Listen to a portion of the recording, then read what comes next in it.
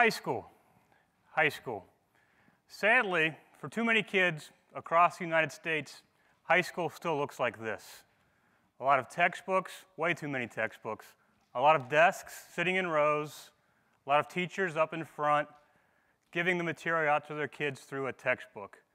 And heaven help you if you don't finish by the end of May. Sadly, this has been too much of what our kids have been used to since they were in kindergarten. Sadly, it still happens today across the country. And our kids are really, really good at the game of school. You know what I mean by the game of school? They stand up when the bell rings, bell rings again, they sit down, they get how the system works, how it was for us when we were in school, how it was for their parents when they were at school. They understand the game.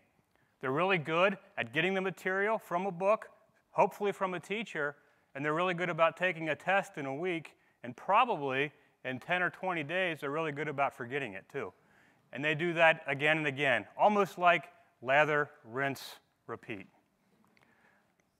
Senator, you, or I'm sorry, U.S. Department of Education Secretary, former Secretary Arne Duncan talks about how in the United States we spend about $8 billion on textbooks in the nation a year. $8 billion on textbooks for our kids. $8 billion that can be used in so, so many better ways than what we do right now. In my opinion, we need to get rid of that. We need to get rid of the textbooks and almost clear the decks or really clear the desks, right?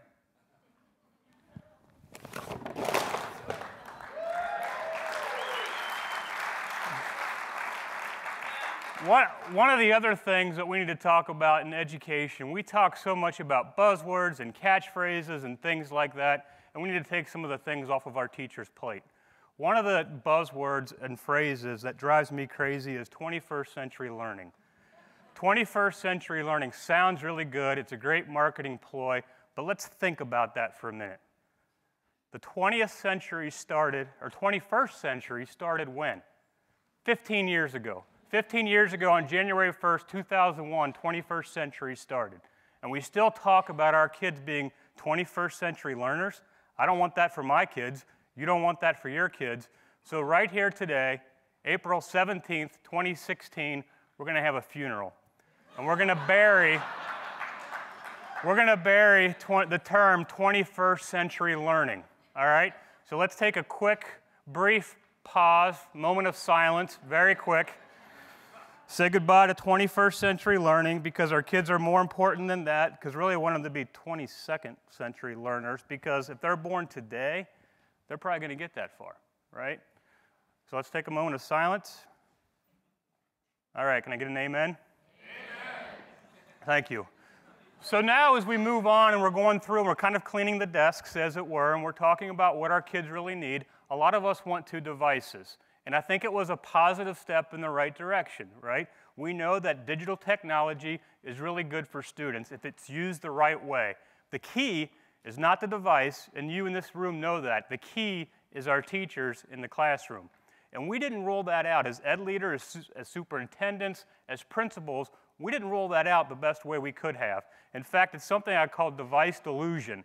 We sort of thought that by buying a device, because the school district next to me bought the devices for their kids, and I have to keep up with them for my parents and for my kids, so I bought devices too. And I handed them out to teachers and said, Here you go, and here you go, kids. And this will make things better, and you'll be a better student, you'll be a smarter student, and you will be more engaged. And that's what we did. And we said, Here's a device. But we talk about textbooks still and all the time and resources that went into textbooks, but we never built that same type of professional development into a device.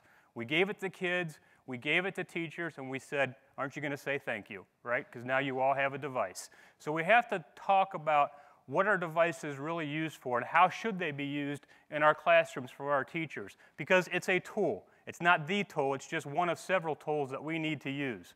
We need to focus our attentions on what that tool, what that technology can do for our kids.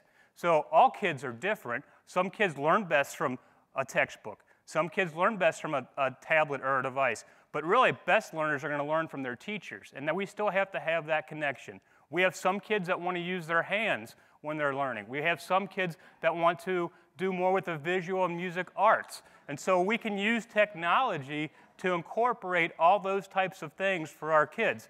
These textbooks were designed for one minded student. Our students aren't of one mind, they have different interests, they have different thoughts, and we need to foster that and create that relationship.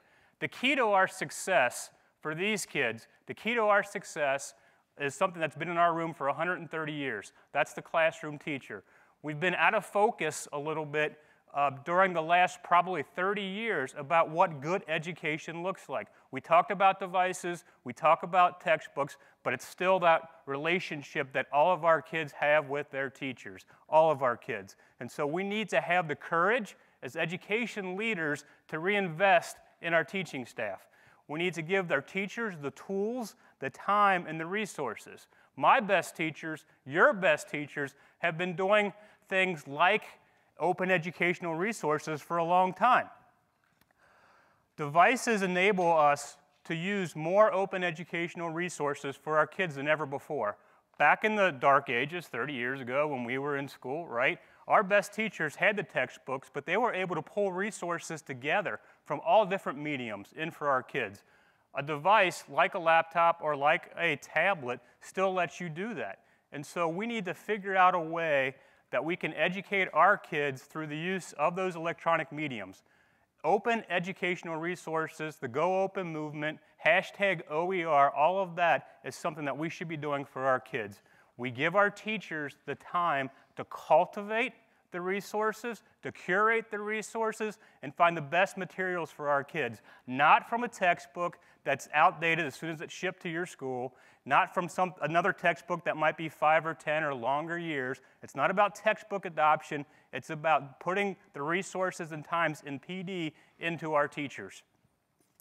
We were fortunate enough just about a year ago um, to be part of the Digital Promise's League of Innovative Schools, and it just by happenstance, I was sitting with two other league superintendents at the same table, and we were doing an exercise, in, in, in a concept exercise about what can we do with open educational resources for our teachers in our three states. So we started something called the CAL Project.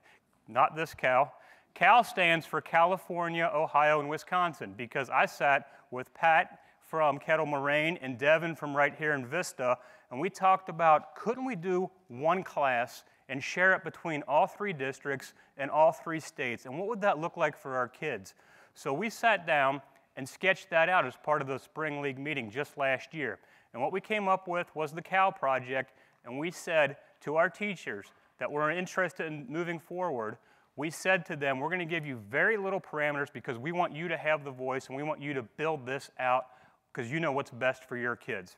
So a couple really good teachers from Mentor, a couple of really good teachers from Kettle Moraine, and a couple really good teachers from Vista met in Mentor uh, this past August to set this class up. It was a middle school class, and it involved uh, science, it involved language arts, and social studies. It was about the land and the people and how the people affect the land.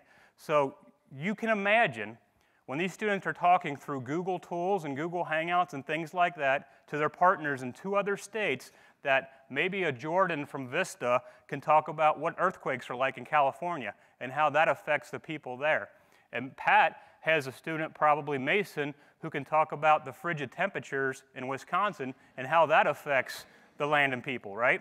And, and Jessica in, in Mentor, Ohio, could talk about how we're on the banks of one of the Great Lakes and how that affects the economy and people like that. So we were able to give these students a voice. In fact, this project was so successful, I had one of my teachers, Mr. St. Hilaire, talk about how he had a student in his class who, during the regular school day, doesn't really engage much with his peers.